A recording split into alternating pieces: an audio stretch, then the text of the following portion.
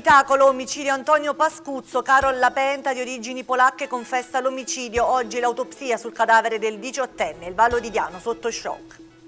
Teggiano, nuove aliquote approvate dall'amministrazione di Candia. Arriva il manifesto di Rinnoviamo Diano che denuncia gli aumenti. Piano di zona, avviso per sussidi di assistenza alimentare e proroga contributi per, per i centri anziani. Padula, la certosa di San Lorenzo, ospita la mostra e fatto giorno. Fuzza, allo Sporting Valdiano, promosso in C2, vinto il girone oro con un turno di anticipo.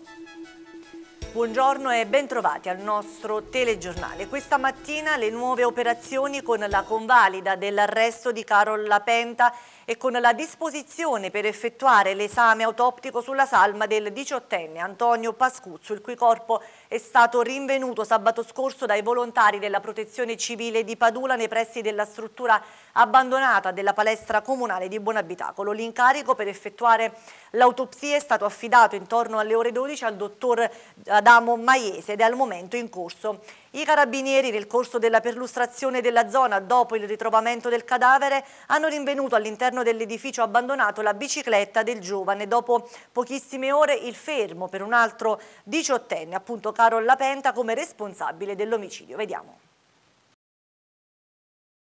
Dopo poche ore dal ritrovamento del corpo del giovane di Buonabitacolo Antonio Alexander Pascuzzo, i carabinieri della compagnia di Sala Consilina, guidati dal capitano Davide Acquaviva, hanno fermato il responsabile che dopo un lungo interrogatorio ha confessato di essere l'autore dell'omicidio. Si tratta di Karol Lapenta, 18 anni, di origini polacche, ma adottato pochi anni fa insieme alla sorella da una famiglia particolarmente stimata di Buonabitacolo. I militari dell'arma hanno impiegato pochissime ore per individuare il responsabile e dopo un lungo interrogatorio alla presenza del suo avvocato, il ragazzo ha confessato di aver commesso l'omicidio nella sera stessa in cui Antonio Pascuzzo era scomparso dopo aver ricevuto una telefonata. L'omicidio è avvenuto nei pressi del luogo del ritrovamento del cadavere dietro la palestra comunale abbandonata in avanzato stato di decomposizione. L'omicidio, avvenuto con efferata rabbia, ha portato l'assassino a colpire il ragazzo scomparso per ben sette volte con un coltello, sottoposto a sequestro dai carabinieri, di cui cinque fendenti al petto e altre due sulla sinistra del torace, colpendo la spalla e il costato. Le motivazioni sembrerebbero banali, dato che, come ammesso in sede di interrogatorio dall'autore del delitto, la lite è scaturita a seguito del tentativo da parte dell'assassino di impossessarsi di un modesto quantitativo di droga in possesso della vittima. Dopo aver colpito a morte Antonio Pascuzzo, avrebbe provveduto ad occultare il cadavere trascinandolo per circa 50 metri, per poi gettare il corpo nel torrente da un'altezza di circa 5 metri, dove è stato poi ritrovato lo scorso sabato pomeriggio dai volontari della Protezione Civile di Padula che insieme ai carabinieri e ai vigili del fuoco di Salerno erano intenti nelle ricerche del giovane dal giorno della sua scomparsa avvenuta venerdì scorso 6 aprile.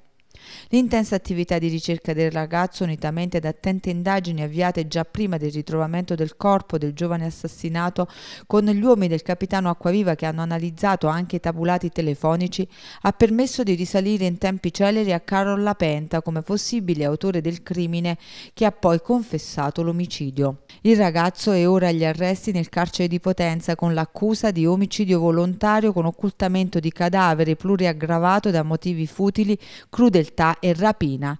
Il ragazzo, conosciuto nella comunità di Buonabitacolo, durante tutto il periodo della scomparsa di Antonio aveva continuato nella sua vita quotidiana, recandosi regolarmente al lavoro a Montesano, dove era impegnato come apprendista macellaio, sereno e senza alimentare alcun dubbio tanto che pare che al momento del ritrovamento del cadavere è stato avvistato sul posto e in tale circostanza chiedeva anche informazioni su cosa fosse accaduto. La tragica vicenda che ha visto un giovane diciottenne coinvolto a coltellare per uccidere un suo coetaneo per motivi legati alla droga sconvolge tutto il Vallo di Diano, non solo Buonabitacolo. Un caso assurdo anche per l'attenzione che l'assassino ha usato nel nascondere il cadavere e nella sua assoluta tranquillità nel presentarsi in mezzo alla comunità. Un caso che impone inevitabilmente una seria riflessione su cosa sta accadendo ai giovani e su quali sono i pericoli a cui vanno incontro. Tutto il Vallo di Diano resta profondamente scosso per l'omicidio brutale di Antonio Alexander Pascuzzo, ucciso da un suo coetaneo con sette coltellate, e tutto il territorio oggi si chiede cosa sta accadendo che toglie dai piccoli comuni quel senso di serenità e tranquillità che li faceva sentire lontani da terribili fatti di cronaca raccontati dai TG nazionali. I protagonisti del dramma sono due giovani diciottenni di un piccolo paesino come Buonabitacolo che conta circa 2500 abitanti e che si chiede quali sono i sentimenti che spingono i ragazzi verso tanta violenza. L'ultimo caso risveglia le coscienze. Gli uomini del capitano Davide Acquaviva da mesi hanno intensificato i controlli antidroga sul territorio e anche a Buonabitacolo si sono registrati casi di fermi e segnalazioni per uso e spaccio di droga. Anche Antonio Pascuzzo lo scorso 30 novembre era stato arrestato dai carabinieri perché in possesso di 30 grammi di hashish e bilancino di precisione. Dalla compagnia carabinieri diretta dal capitano Acquaviva, come spiegato in una recente intervista dal procuratore di Lago Negro, il dottor Vittorio Russo, i controlli sul territorio per reprimere reati legati all'uso e allo spaccio di sostanza stupefacente sono intensi e serrati, ma evidentemente ciò non basta. Quanto accaduto impegna su una seria riflessione richiamando tutti alla responsabilità. Tanti messaggi sui social e tutti che invitano a riflettere. Lo fa Elia Rinaldi, ex sindaco di Bonabitacolo, che invita ad un'attenta analisi per poi agire nella maniera opportuna. Per fare tutto questo, scrive, occorre scavare nel profondo e mettersi in discussione anche individualmente. Anche il sindaco Giancarlo Guercio, analizzando la vicenda, sottolinea come va intrapresa un'azione seria, senza demagogia o scusanti. Ognuno deve fare la sua parte, io per primo. Raffaele Accetta, presidente della comunità montana Vallo di Diano, scrive Il valore della vita ridotto a nulla. Per il nostro territorio si tratta di un episodio che deve far riflettere. È un segnale che non può e non deve essere trascurato. Sul fatto è intervenuta anche Rosabella De Angelis, giovane ragazza impegnata con l'associazione Love Vallo di Diano che scrive L'omicidio ha suscitato molte domande, molte riflessioni e molte perplessità. Ma se da sfondo generale c'è una società disturbata, intenta a volte più a guardare profili che visi, forse non c'è tanto da meravigliarsi che dal tribolato sortiscano tribolazioni, anche quando ad essere colpita è una piccola comunità.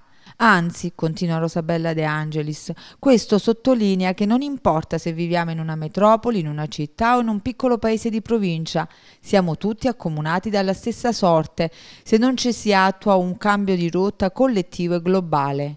Ad ogni modo, conclude, voglio credere che il Vallo di Diano sia ancora un buon abitacolo per chi vive da sempre e per chi ci vivrà in futuro.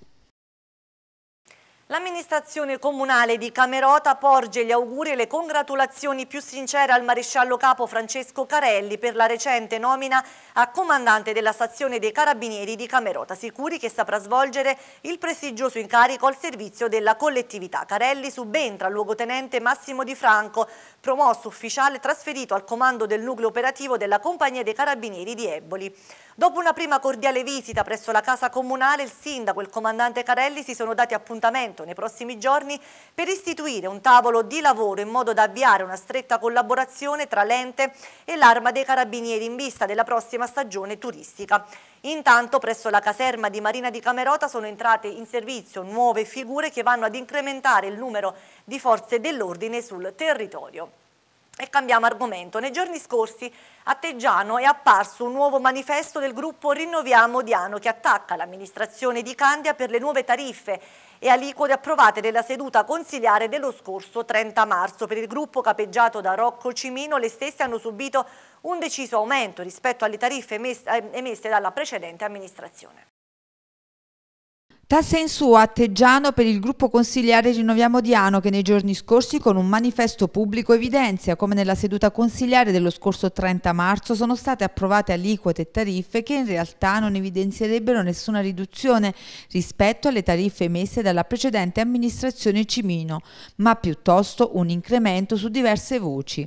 Il manifesto pubblico si apre con il gruppo consigliare di opposizione che ricorda come durante la campagna elettorale, tra i diversi attacchi verso l'amministrazione uscente, anche le affermazioni secondo cui l'amministrazione Cimino aveva aggravato di tasse ingiustificate la comunità, tariffe che secondo quanto riportato sarebbero state confermate anche per il 2018.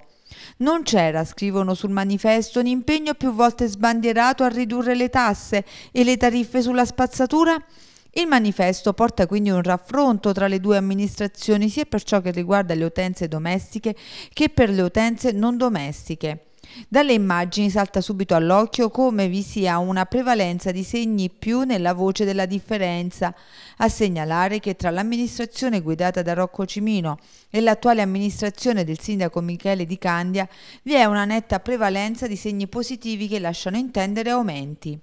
Per le utenze domestiche sono sei le tabelle di riferimento, ciascuna composta da sei voci in base ai metri quadri dell'abitazione, per un totale di 36 voci. Di queste 36 sono ben 32 che fanno registrare un aumento che va da un minimo di 12 euro fino ad arrivare per alcune voci anche ad aumenti di 108 euro in più da parte dell'amministrazione di Candia rispetto all'amministrazione Cimino. Non va meglio per le utenze non domestiche che su 27 voci che si riferiscono alle diverse tipologie di esercizi commerciali, soltanto una fa registrare una diminuzione.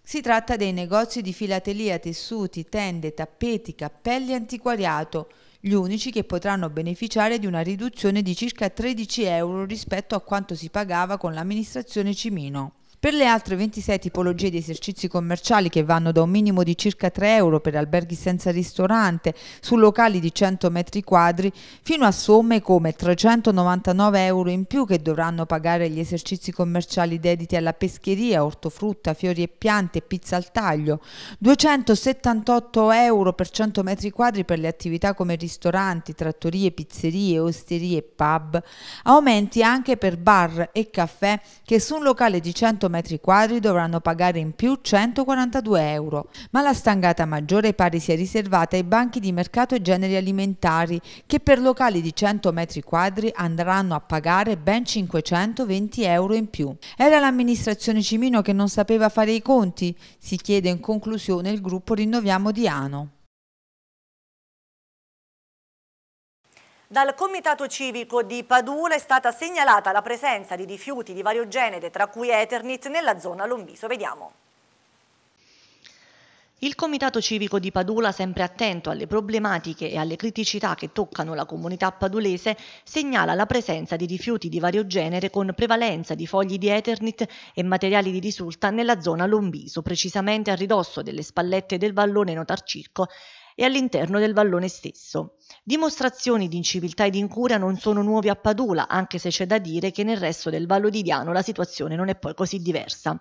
Lo scorso anno lo stesso comitato denunciò la presenza di rifiuti pericolosi nell'area di laminazione del torrente fabbricato nei pressi della Certosa di San Lorenzo. L'alveo era diventato luogo di scarico di rifiuti di ogni genere. Nello stesso anno il comune di Padula aveva adottato il pugno duro in materia di abbandono indiscriminato di rifiuti al fine di tutelare la salute pubblica, la sicurezza e il decoro urbano. Furono previste multe salatissime per chi fosse stato pescato ad abbandonare rifiuti di qualsiasi genere sul territorio comunale. A quanto pare è servito a poco. Il primo cittadino, Paolo Imparato, aveva anche invitato la comunità alla collaborazione e a segnalare agli uffici competenti eventuali violazioni. Ed è questo il ruolo che si è dato il Comitato Civico di Padula, segnalare problematiche e non partecipare all'indifferenza dei più verso situazioni gravi che riguardano la comunità locale. Nei termini e nel rispetto delle istituzioni e delle leggi, dicono dal Comitato, il loro compito è quello di cercare di risvegliare il senso civico nei cittadini e negli amministratori, sollecitando l'adozione l'adozione di comportamenti rispettosi. Sul loro sito web vi è una sezione dedicata a cui tutti possono accedere per segnalare eventuali problematiche di natura ambientale, culturale e sociale. Il comitato valuterà di volta in volta l'opportunità o meno di intraprendere iniziative. Taglio del nastro domani per il nuovo pronto soccorso dell'ospedale di Rocca d'Aspide dopo importanti lavori che hanno completamente cambiato il volto del reparto e che ora si presenta all'avanguardia con ampi spazi a disposizione con nuove attrezzature. Appuntamento alle 10 per la cerimonia di inaugurazione che vedrà la presenza del governatore della regione Campania Vincenzo De Luca. Ci saranno anche il vescovo della diocesi di Vallo della Lucania, Monsignor Ciro Miniero e del direttore generale dell'ASL di Salerno, Antonio Giordano. Parteciperanno alla manifestazione tutti i sindaci e gli amministratori della Valle del Calore, degli Alburni e della Lento, il presidente della provincia di Salerno, Giuseppe Canfora. Cambiamo argomento. Il piano di zona vuole formare un elenco per le famiglie bisognose che possono essere ammesse all'assistenza alimentare per il 2018, mentre sono stati prorogati i termini di scadenza per i contributi alle attività nei centri per anziani. È stato reso noto l'avviso pubblico per la formazione di un elenco di nuclei familiari bisognosi residenti in uno dei 18 comuni dell'ambito S10, aderenti al programma Lotta alla povertà per la missione a sussidi sotto forma di assistenza alimentare per il 2018.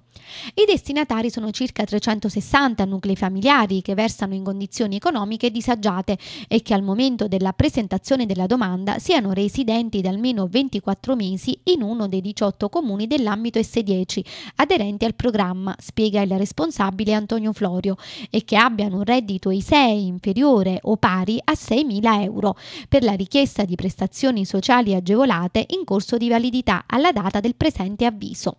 La domanda potrà essere presentata secondo le modalità riportate dalla procedura online entro la mezzanotte del 26 aprile, salvo eventuali proroghe. Per gli ISEE inferiori a 1000 euro vanno dichiarati le fonti ed i mezzi da cui il nucleo familiare trae il suo sostentamento. È una buona iniziativa per combattere la povertà che imperversa anche in questo territorio, continua Florio. Intanto sono stati prorogati fino al 4 maggio alle 12 i termini di scadenza per la concessione dei contributi da destinare alle attività e alla gestione dei centri sociali polifunzionali per anziani.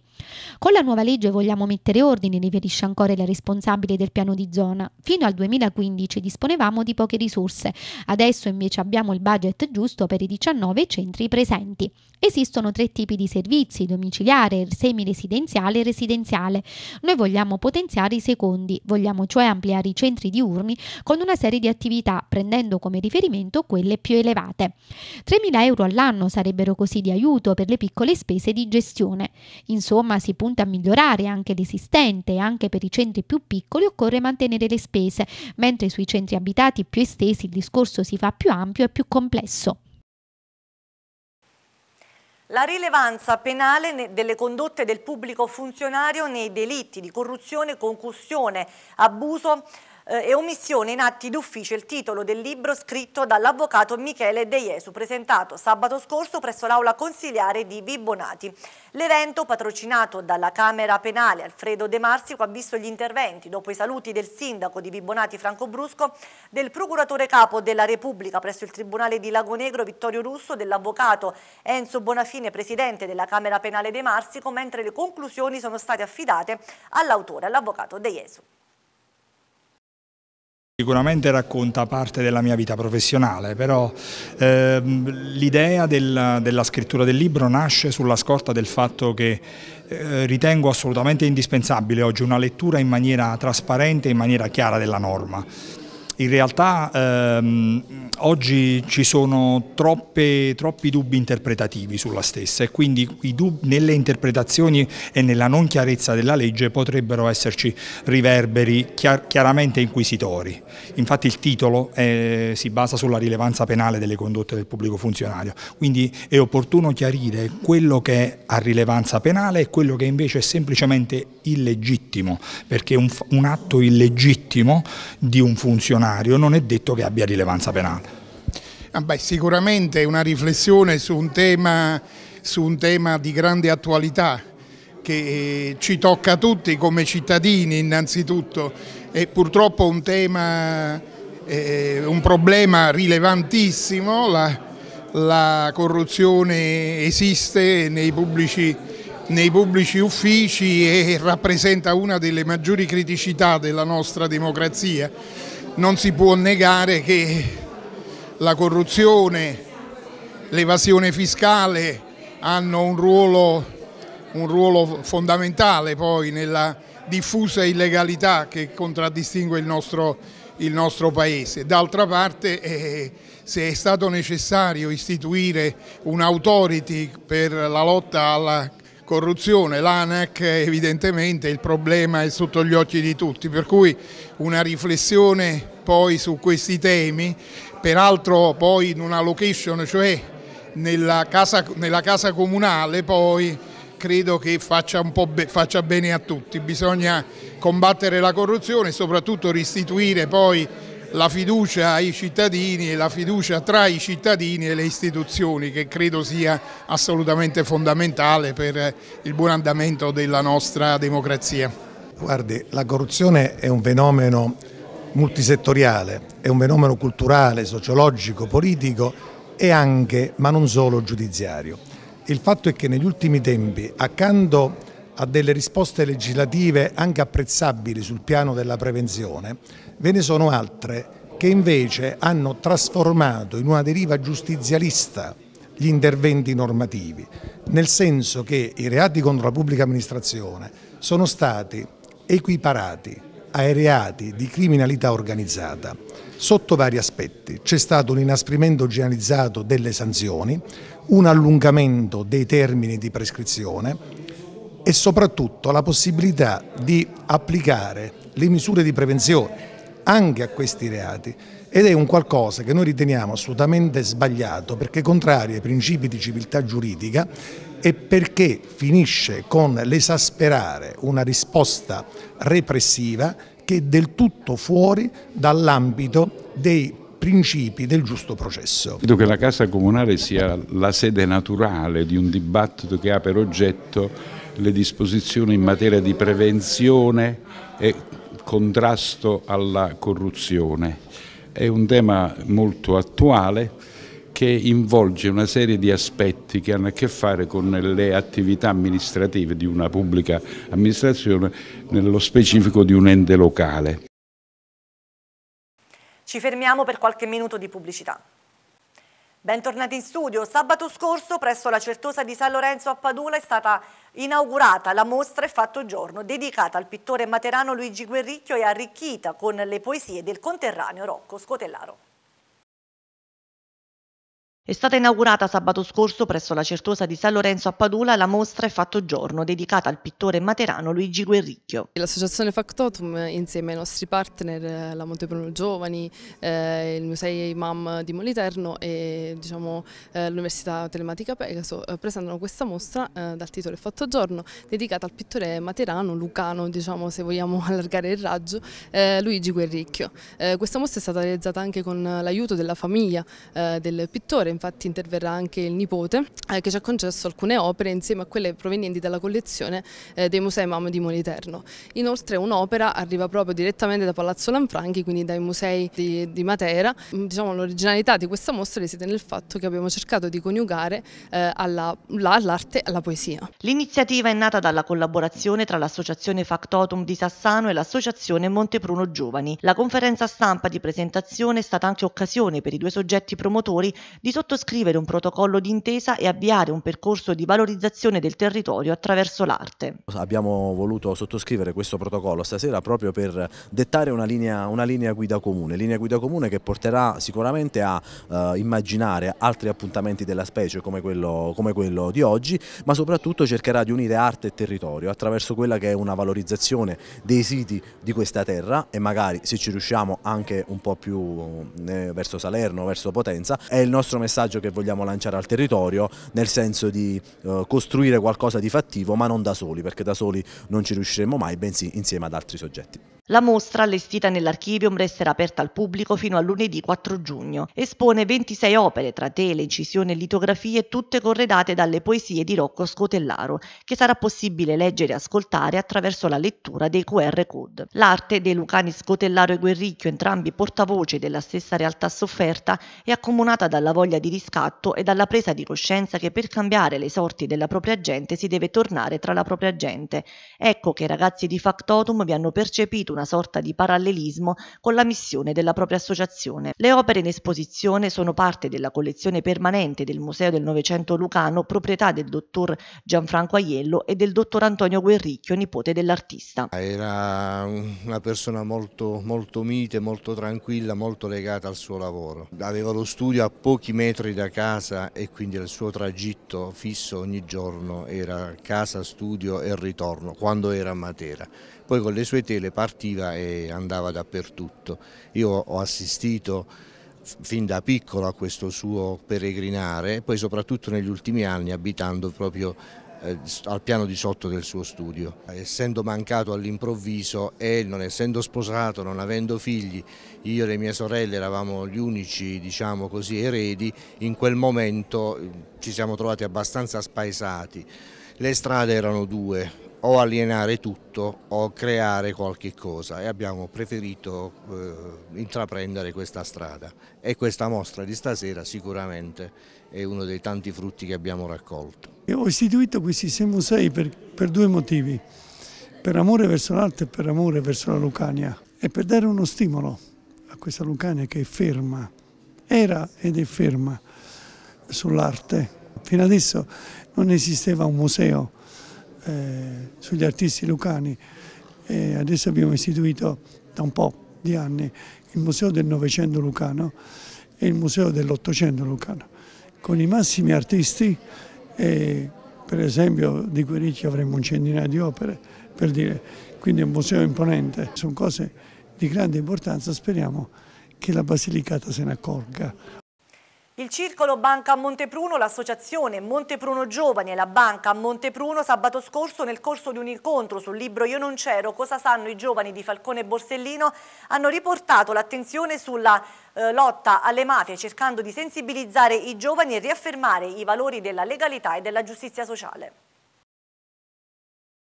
Sabato scorso, presso la Sala Cultura della Banca Montepruno a Sant'Arsenio, si è tenuto l'incontro con i giovani per una cultura della vita sul sentiero della legalità, organizzato dal Circolo Banca Montepruno, dall'Associazione Montepruno Giovani e dalla Banca Montepruno. Prendendo le mosse dal libro Io non c'ero, cosa sanno i giovani di Falcone Borsellino e da quello che è il ruolo sociale del Parlamento della legalità internazionale, i relatori hanno parlato ai giovani e ai meno giovani di verità e giustizia, di dignità e talento, di sogni e di onestà. Nel libro si trovano verità e giustizia, si trova il grido di tanti studenti che non vogliono stare nella logica diabolica del compromesso. Sono libri che nascono tra i banchi di scuola, che propongono una cultura di riscatto e partendo da quella frase che abbiamo detto dopo le stragi di Capace e Via D'Amelio, nessuna notte sarà così lunga da impedire al giorno di ritornare. Parlano i ragazzi, parlano i giovani, nel libro Io non c'ero, ci sono pure le schede di Paolo Borsellino, ma siamo già pronti a riconsegnare alla, al mondo della scuola il ventinovesimo libro che ha come titolo Peccatori sì corrotti mai, perché vogliamo dire grazie all'anatema contro i carnefici di Cosaloro a Giovanni Paolo II quel 9 maggio del 93 nella Valle dei Templi ad Agrigento e ricordare la memoria di padre Pino Puglisi ucciso a Palermo a Brancaccio con quell'esortazione se ognuno fa qualcosa il mondo sarà diverso, ucciso anche lui 25 anni fa. E noi dopo Roma presenteremo qui in questo territorio questo libro perché anche i ragazzi di questa bellissima eh, regione Campania oggi ci hanno dato un grande contributo.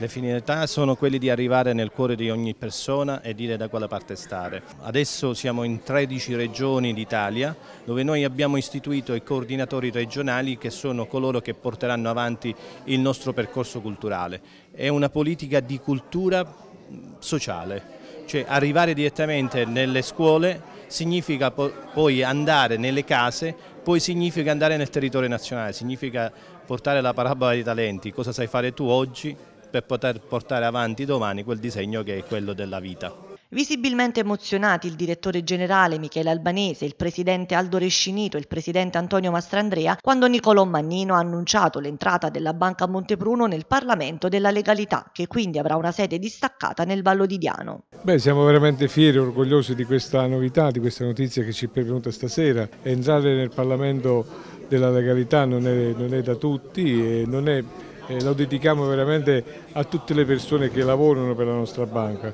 per tutti coloro che credono ai valori della nostra banca, che tutte le mattine si alzano consapevoli del ruolo che debbono svolgere, che non è solo quello del, del bancario puro, ma soprattutto di un operatore, di un operatore a, a, diciamo, a contatto con le persone dalle più umili alle più importanti. Quindi di conseguenza questo, questo momento è veramente emozionante. Noi abbiamo ricevuto molti attestati, però questo ci, riempie veramente di, di grande soddisfazione. Andremo a Roma a ritirare l'attestato con grande eh, soddisfazione, impegno, eh, veramente fieri eh, di poter portare su questo territorio un altro tassello della Banca Montepruno che è quello della legalità. Oggi pomeriggio siamo stati qui eh, diciamo nella sala cultura della banca con tanti amici eh, giovani e meno giovani e abbiamo assistito insieme a, a questa ulteriore bellissima esperienza portataci dagli amici siciliani sul, su un pezzo, su, su, un momento tragico della nostra storia, eh, quello di Paolo Borsellino e, e, di Falcone e non solo, di tanti altri eh, come loro. Eh, questa storia ancora continua, noi, noi siamo pronti, come avete sentito, a, ad entrare in lotta silenziosa ma tenace eh, contro questi sorprusi e contro questi sistemi. La versione teatrale del racconto dei racconti tratto dal Pantamerone di Giambattista Basile per la regia di Franco Cutolo e interpretato da Federico Salvatore è andato in scena venerdì scorso al Teatro Mario Scarpetta di Sala Consilina, uno spettacolo fuori cartellone a sorpresa che fa calare il sipario sulla stagione teatrale salese. Per noi c'era Pietro Cusati. Il messaggio va nella direzione sempre di, del, del mio discorso di autore che è quello di rivalutare la, trad la tradizione, quella di um, proporre sempre ad un pubblico materiali della memoria storica, della, della nostra cultura, ma non tanto tradizione intesa nella maniera più oleografica o diciamo genera generale.